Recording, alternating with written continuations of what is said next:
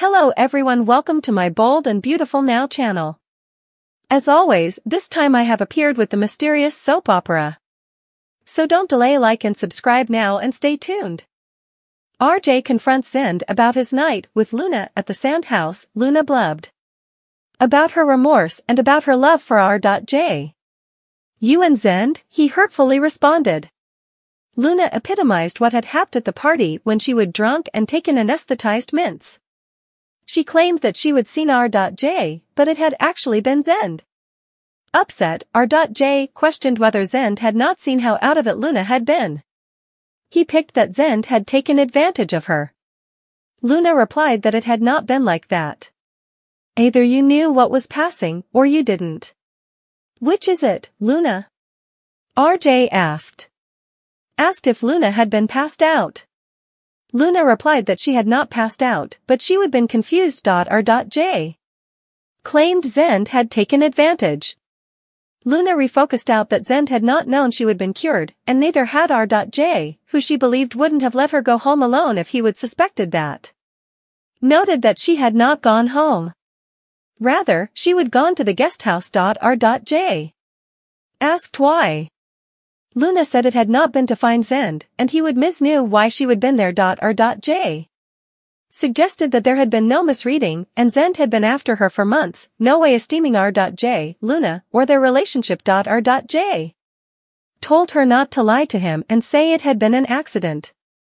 She cried that it was the verity. It killed her to see R. J in pain, but she demanded him to hear that Zend had not taken advantage of her, it had been the mints that had made her see her. J, the person she loved. Luna reasoned that she should have gone toward J. After it had happed. He smelled out that she would been hiding it from him the whole time. She cried that she would stressed what it could do to his and Zend's relationship. She called it a big misreading. R. J figured that it had been for her, but Zend had known what he would been doing and with whom he would been doing it. R. J. Seized his keys and paraded out of the house. She screamed his name, but he slammed the door. In the design office, Zend told Carter that Luna was confessing toward J. At that moment, Zend had really allowed he and Luna had participated commodity special, and he stated that if it had not been for Poppy and her mints, he and Luna might have had a chance at commodity. Poppy arrived, looking for her son. Zend informed her that Luna was with R.J. and was telling him about her night with Zend. Poppy learned that Zend had commended in Carter and noted that she would told Luna to confess Tor.J. Zend told Poppy that Poppy had told Luna to confess after she would told Luna to keep silent for weeks. Poppy developed that it had been because she would seen how the secret had been destroying Luna. Zen said Luna's first instinct had been to tell the verity, but they'd advised her about the consequences. Carter said R.J. could not condemn Luna. Zend stated that they could hope for that, still, indeed IFR.J's head got it, his heart might not, and a blindsided R.J. might be unfit to forgive Luna. Poppy admitted that she should be paying for it, not Luna. Poppy had desisted taking the mints, and Zend asked how that would help Luna. Poppy replied that it might help her and her son get near again. Carter asked if Poppy was quitting for herself or to win Luna back. Poppy stated that she had to be fully present for Luna. Poppy had devoted her life to Luna.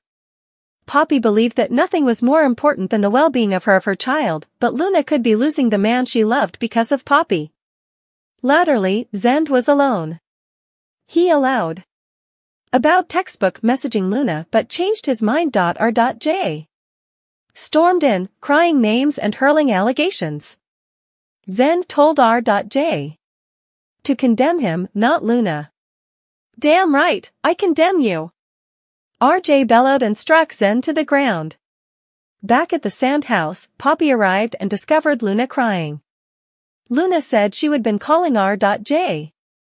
Luna was worried about causing R.J. so important pain, but Poppy claimed that it was her fault. Luna took responsibility for not telling R.J. and she was hysterical of R.J defying Zend.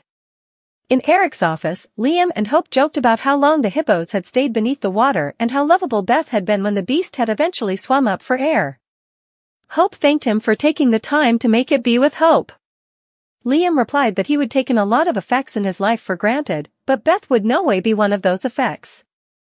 Liam decided to let Hope get back to work, but Hope said that there was no rush. Liam assumed that was because her lead developer had gone. Hope replied that Thomas had been further to her than just that. She participated that she would been allowing a lot about the elaboration of her relationship with Thomas, and Liam wondered if he was really the bone. For her to entrust in. Hope stated that she was trying to see the bigger picture, since she was more removed from it. She'd been pondering how it had evolved, and she would been allowing of her relationship with Thomas before he would changed. His involvement in what happened to Beth? Liam asked. Hope stated that she would no way deny that Thomas had prevaricated to them and tried to keep their son from them, but she claimed that Thomas rooted and that it visited Thomas. While she got that Liam could not forgive Thomas, she had, and she would believe that he would been able of changing for the better, which he would done. Hope stated that she was questioning her incapability to accept his offer, and she was not sure what the future held for her and Thomas. Hope said she would been questioning everything. Liam replied that the Joe she would been defending had skipped city because she had not committed presto enough. She stated that she would been questioning why she had not been suitable to commit and noted that effects had been going so well. Hope recalled what Brooke had said upon seeing the ring on the choker for the first time. Brooke had said Hope's involvement with Thomas had been a response. Hope had disregarded it until Finn had mentioned that she might have been revolting. Against what? Liam asked. Hope figured he knew her mama's history and the marker put on Brooke. Hope had sworn she wouldn't be like that.